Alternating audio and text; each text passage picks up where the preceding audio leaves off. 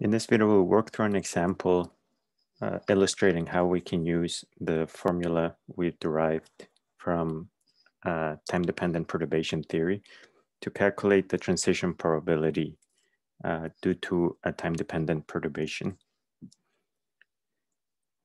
So in this example, we're considering a one-dimensional harmonic oscillator that's initially in the ground state.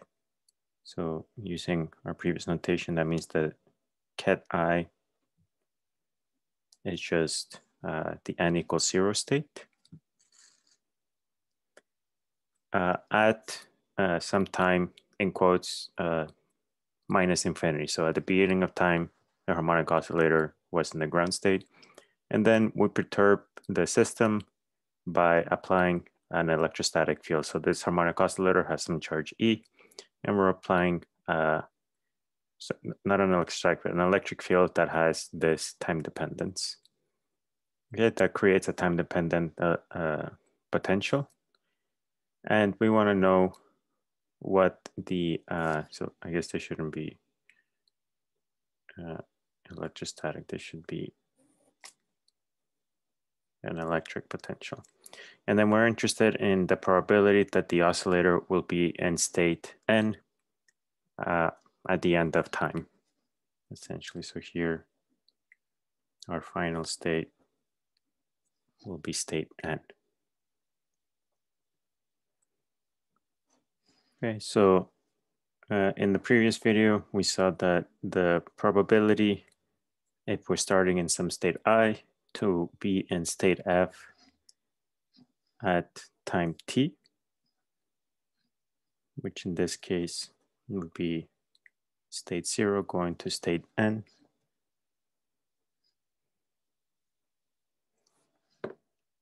This was one over h bar squared. The square modulus um, from the moment we turn on the perturbation until uh, sometime t when we make a measurement.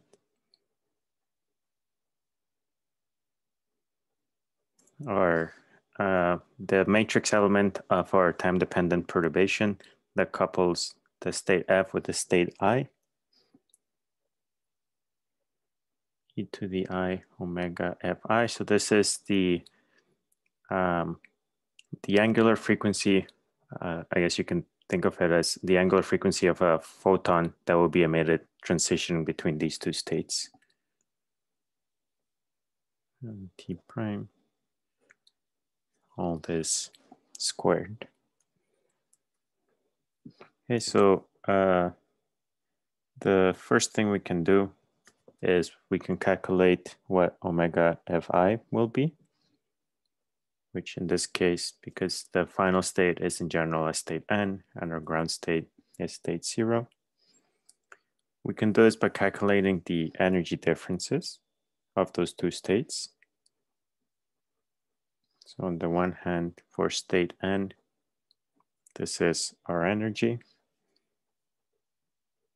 And then for the ground state, our uh, energy is h bar omega naught over 2. Omega naught here being the natural frequency of the oscillator. And then to get a uh, just the angular frequency, we divide by h bar. And what you end up getting is this is and omega naught. We can also calculate what this matrix element is. This will be uh, taking out these constants and the time dependence.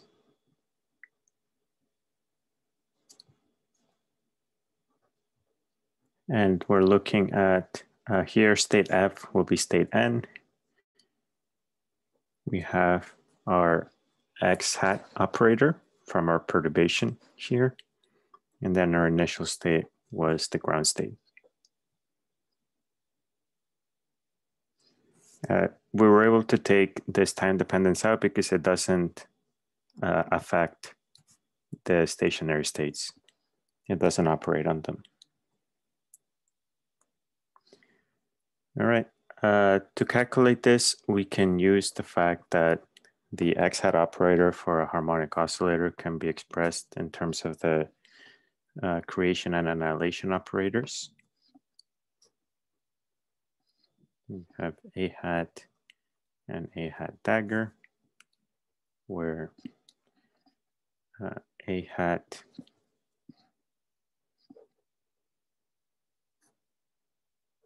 promotes the energy level, and that's a normalization constant. And a, and hat, a hat dagger will demote an energy level. This is minus one. In particular, if you act on the ground state with the annihilation operator, you just get zero.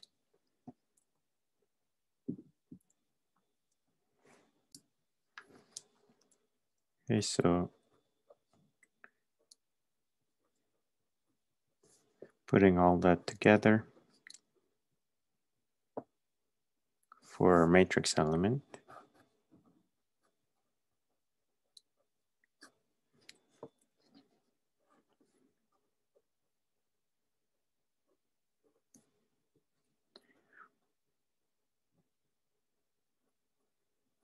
We get this quantity because the annihilation operator acting on the ground state just gives you zero.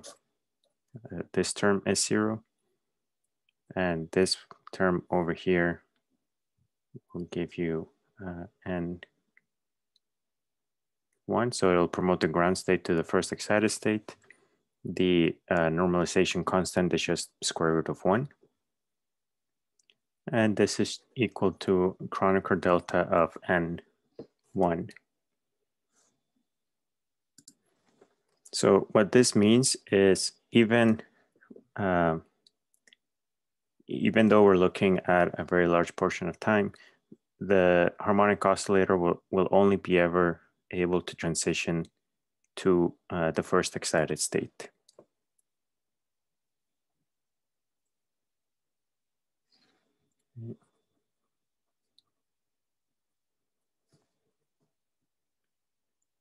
There's the minus sign here.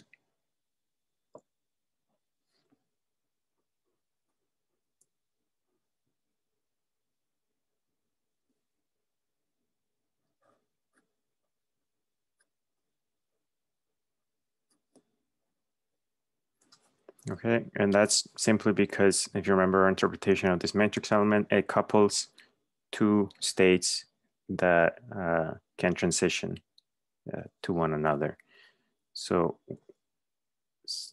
um, what that means then is the only states that are coupled are the ground state and the first excited state. There's no coupling between any other state and the ground state, so it can't possibly transition to any other state.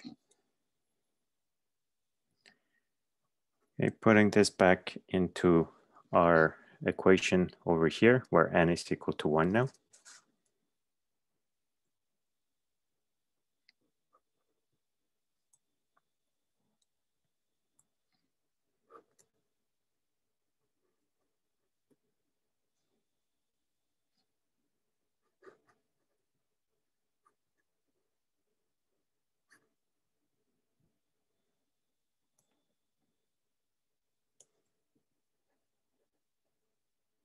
Just write this like that.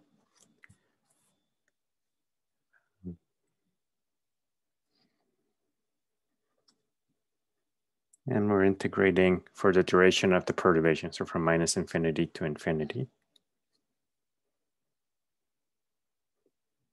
This is the time dependence of our perturbation, and this was the uh, the term that was inner integral to begin with, uh, this term over here.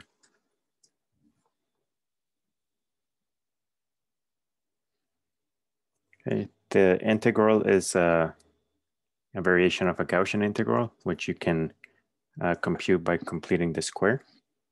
So this over here will give you square root of pi tau squared e minus omega naught squared tau squared over 4.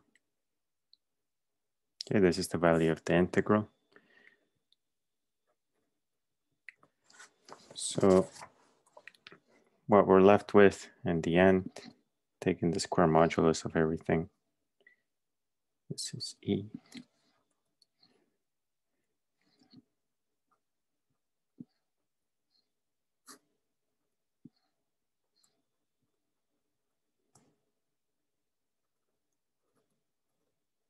This is uh, E squared from this part over here.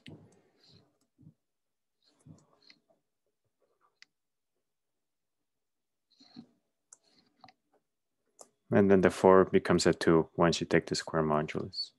Okay, so this is our uh, transition probability that after some, uh, at the end of time, essentially when time is equal to tends to infinity, uh, our transition probability of going from the ground state to the first excited state is given by this expression. Okay, so this is an example of how you apply our result uh, from first order time dependent perturbation theory to calculate transitions.